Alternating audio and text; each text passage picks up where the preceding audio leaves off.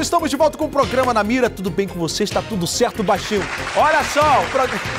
Ei, meu cabra tá mole, Olha só, minha gente, não é só em Manaus que as coisas estão acontecendo. Né? A criminalidade já está percorrendo o estado inteiro do Amazonas e em Pauini, um homem de 40 anos foi preso e com ele a polícia encontrou cinco armas. Isso mesmo. A Bárbara Mitoso traz os detalhes na tela do Namira. Essa ação policial aconteceu no bairro Pantanal, no município de Pauini, interior do Amazonas, onde os policiais militares prenderam esse homem de 40 anos que não teve a identidade revelada com ele foram apreendidas cinco armas, sendo que uma delas era uma arma falsa, três eram espingardas é, caseiras, né? Tinha também um cano de uma arma tipo caseira, além de várias munições, né? Vários cartuchos, calibre 32, 28 e 36. Diante de toda essa materialidade, ele foi encaminhado para a delegacia do município. Volto com você. Obrigado aí, Bárbara Mitoso, que está de blue. É, está de blue. Coloca aí a imagem da Bárbara Mitoso aí, Gisele, para mim. Coloca ela na tela aí, ó. Olha só como a Bárbara tá hoje. Ela tá de azul. Olha, rapaz. Bárbara também tá solteira, mas não é qualquer homem, não. Tá certo? Não é qualquer homem, não. Falando em alguém que tá solteiro, mostra aí quem tá solteiro aqui, baixinho. Só mostra, né? Rapaz, ontem o que teve de WhatsApp, o que teve de recado no direct do Instagram para não dizer que eu estou mentindo, eu e o Alex Costa recebemos o recado da mesma pessoa, querendo porque querendo o número do Rui.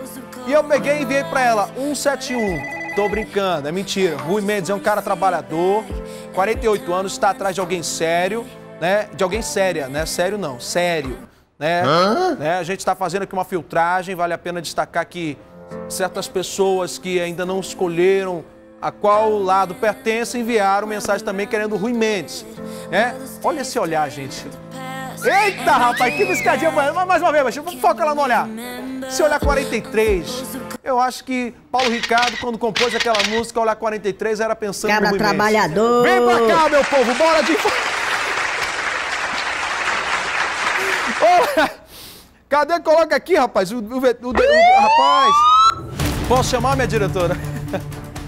Minha gente, agora olha só, um jovem que seria integrante de uma facção criminosa foi preso depois de espancar, pasmem, espancou a própria avó, uma idosa de 66 anos de idade. O suspeito, que é presidiário do semiaberto, usava o quê? Uma merda de uma tornozeleira eletrônica. O que que faz uma tornozeleira eletrônica? O que que adianta colocar um camarada no semiaberto, né? Se ele é capaz de fazer uma situação como essa. Quem traz os detalhes é o Marcelo Bezerra, diretamente de Manacapuru. É de Manacapuru? É, né? Marcelo, bom dia. Conta essa história pra gente aí.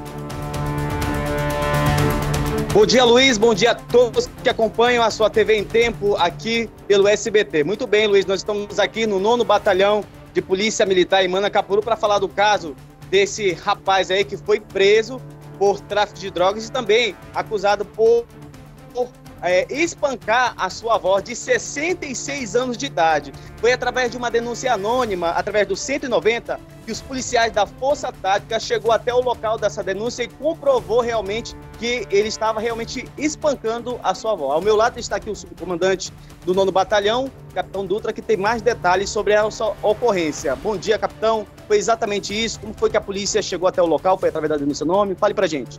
Bom dia a todos. É, a gente recebeu ontem via 190 a denúncia informando que um indivíduo estaria agredindo uma idosa. Né? A equipe da Força Tática foi deslocada para verificar a denúncia e lá foi comprovada a veracidade da mesma, né? onde foi localizado esse indivíduo que já é conhecido das equipes aqui do nono batalhão, né?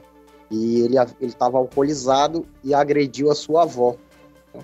Então foi dado voz de prisão para ele, ele foi conduzido à delegacia regional para os procedimentos cabíveis. E aí tá aparecendo aí na tela a foto desse suspeito aí, né? Ele, ele tem passagem pela polícia por tráfico de drogas, né, capitão? E também ele foi preso na rua ali no Ribeiro Júnior, no bairro São Francisco. Isso. Ele atua naquela região. É, ele tem a, já foi preso outras vezes por tráfico de drogas, já foi preso com armamento. Ele possui é, uma tatuagem que faz alusão a uma facção criminosa aqui do estado. Né? Então ele já é conhecido das equipes do nono batalhão sempre é abordado e mais uma vez aí a gente obteve êxito na, na prisão do mesmo. Muito bem, Luiz, e vamos falar do segundo caso de polícia aqui em Manacapuru. É, a, os policiais do Getan, equipe de motocicletas, conseguiram avistar uma dupla que estava traficando aqui em Manacapuru. Um conseguiu se evadir do local, mas o outro, a casa caiu, viu? É, deixa aqui falar o nome dele. É Reinaldo Reinaldo Johnny de Azevedo, de 38 anos. Os policiais abordaram essa dupla, um fugiu e conseguiu apreender um revólver calibre 38 e cinco munições intactas. Fale para a gente sobre, sobre essa ocorrência, capitão. Positivo. A equipe do Getan, na noite de ontem, estava em patrulhamento de rotina, realizando a saturação ali nos bairros do centro, Biribiri, quando se deparou com esses dois indivíduos nessa motocicleta em atitude suspeita. A equipe então resolveu proceder à abordagem no momento em que eles tentaram empreender fuga. Foi feito o acompanhamento e realizada a abordagem. Durante a, o acompanhamento, um dos elementos conseguiu se evadir da equipe, porém o outro foi detido. E durante a busca pessoal na revista foi encontrado com o mesmo revólver, calibre 38, com a numeração suprimida e cinco munições intactas. Ele relatou aí à equipe que eles estavam rodando na cidade atrás de vítimas, né? Eles pretendiam é, praticar roubos com essa motocicleta e essa arma de fogo então, em mais uma ação rápida aí do Getan, nosso grupamento de motocicletas, eles foram é, retirados de circulação e foram evitados que crimes fossem cometidos aqui na, na cidade de Manacapuru. Foi dado voz de prisão para ele, ele foi encaminhado à delegacia regional para os procedimentos cabíveis. Obrigado, conversei com o subcomandante, capitão Dutra, aqui do nono batalhão. Então, assim, esses dois agora, Luiz, estão atrás das grades. Eu volto com você aí no estúdio, Luiz. Obrigado aí, Marcelo Bezerra, pelas informações. Gente, que situação. É, traz a imagem, traz a imagem do vagabundo aí rapidinho. Traz a imagem do vagabundo aí. Olha a situação do primeiro, que bateu na avó, que bateu na avó, né? Presta atenção no camarada. Já, já tem passagem pela polícia, usa tornozeleira eletrônica, né? Já estava vendendo droga quando voltou às ruas. E o que que um camarada desse ainda estava fazendo nas ruas solto? Beleza, tá com tornozeleira eletrônica, mas me diz o que, que adianta uma tornozeleira eletrônica se não impede o camarada de vender droga, se não impede de dar na família? Pelo amor de Deus, gente. Alguma coisa tem que ser revista nas nossas leis, não dá pra continuar do jeito que tá. Vagabundo cometendo o mesmo tipo de crime que ele cometia antes e fazendo arruaça na cidade. Pelo amor de Deus, gente, tá na hora de a gente mudar alguma coisa. Vem pra cá comigo. Falando em mudar, olha só, né? mude também a sua visão em relação àquilo que você pensa da nossa cidade. Diga lá qual é o seu pensamento para Manaus do seu futuro. O que, que você pensa, o que, que você quer. É uma campanha da família TV em Tempo, SBT Amazonas, que pede a sua colaboração. Você vai fazer o seguinte, ó.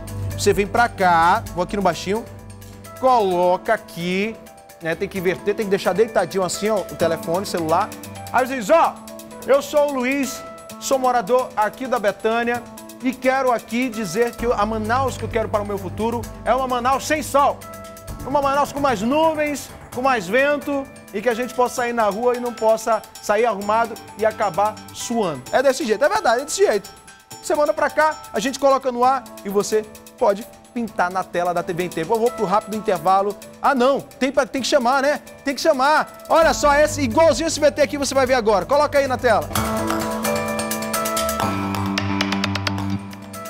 A Manaus do meu futuro é uma Manaus com mais cultura, que tenha realmente mais cultura e que a cultura seja acessível para todo mundo. Que hoje, infelizmente, a cultura ela está muito restrita, é, não está abrangente, infelizmente. É, eu, como artista, sinto isso na pele, vejo isso com meus olhos.